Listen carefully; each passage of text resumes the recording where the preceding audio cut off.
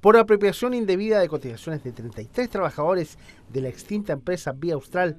Comenzó el juicio penal en contra del ex representante legal de la empresa, Roberto Rodríguez Silva. Compareció vía Zoom en esta oportunidad. Hay una querella que se intentó por un, grupo de 33 trabajadores de la ex empresa Austral SPA, el transporte público. Era una empresa que tenía un transporte subsidio que celebrado un convenio con el Ministerio de Transporte en el cual eh, operaban los buses de transporte público, esos buses azules que circulaban por acá. Esa empresa estaba manejada por el señor Rodríguez y el señor Rodríguez a partir del año 2018 eh, dejó de pagar las cotizaciones previsionales, cotizaciones de salud, FONASA, para los trabajadores y dejó también de pagar eh, algunas préstamos en la caja de compensación, compensación Los Andes.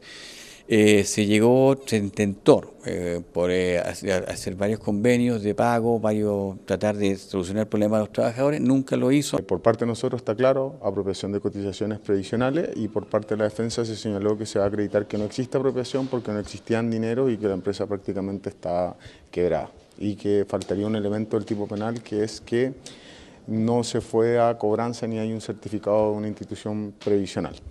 Eh, el imputado hizo, el acusado ahora, hizo uso de su derecho a prestar declaración.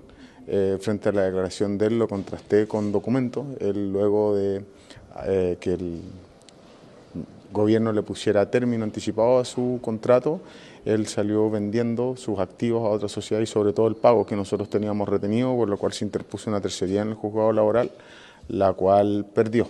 La defensa, por su parte, dice que el ex representante legal de Vía Austral no tiene responsabilidad en los hechos que se le acusan. El juicio del día de hoy es por una responsabilidad penal que a nuestro juicio no existe, en el sentido de que mm, no hay tal distracción de fondos, no hay tal apropiación de los fondos. Simplemente nosotros planteamos que hay una situación de insolvencia por parte del empleador hacia parte de las obligaciones que tienen con sus trabajadores.